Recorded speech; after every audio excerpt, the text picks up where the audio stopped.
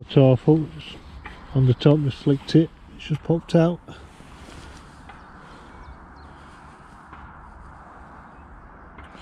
Voided long cross that one. Nice little off. Number three today.